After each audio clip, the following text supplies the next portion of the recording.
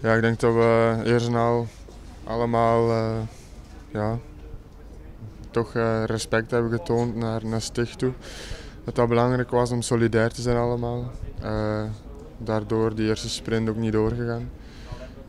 En dan eigenlijk een groep naar die tweede sprint gereden en daar met de ploeg ja, goed 1, 2 en 3 gepasseerd aan de streep. Dus dat was goed voor die trui. Nee, voor de ploeg is dat zeker belangrijk om in de Baloise Belgium Tour goed te scoren en uh, opmerkelijk te zijn. En ik denk dat we dat deze, deze ronde wel hebben gedaan en dat de ploeg daar wel uh, fier mag op zijn. Je bent ook een man van de streek. Uh, heb je veel mensen langs het parcours gezien die je kent? Ja, ik ben geboren te Tongeren en heb hier tien jaar op school gezeten. ik heb hier heel veel supporters en ik heb die langs de kant ook gehoord. Dus ja, dat doet, doet, natuurlijk wel veel plezier om die mensen allemaal te horen voor u. En ja, ik ben ze dankbaar daarvoor.